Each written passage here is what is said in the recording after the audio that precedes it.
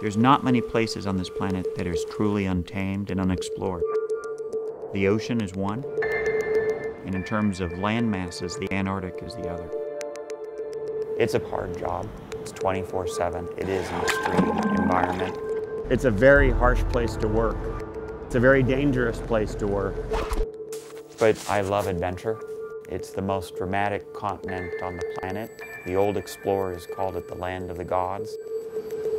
In my lifetime, that whole area of Earth has changed. The winter sea ice season is 90 days shorter. We have seen peninsulas turn into islands, islands pop out from under glaciers, and we have seen radical changes in the seabird populations. We camp out here for five days. We've been studying the penguins here for over a decade. Things that are happening down here will start happening also in other areas around the world. It's not just a localized issue, it's a world issue. So right out there, I just saw a humpback whale blow. Uh, if you guys see any other whales, uh, let us know. What we would like to do is start understanding more about the roles of marine mammals in the Antarctic ecosystem. I think that's our 25th biopsy.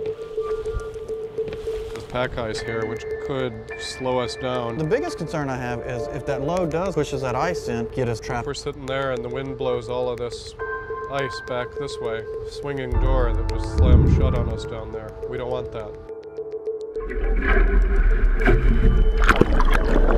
So the buzzer you hear right now is the warning signal that we're just about to hit the bottom. Holy crap. Yeah, we just We almost hit the bottom. We're 10,000 miles from our labs at home, so you never know when there's going to be a surprise out there.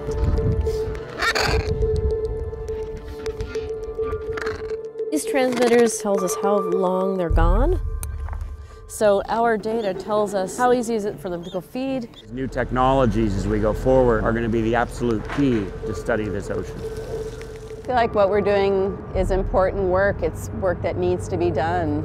And it's almost like I don't have a choice. I need, I need to do this. I mean, there is a complete sense of responsibility. We can't mess this up.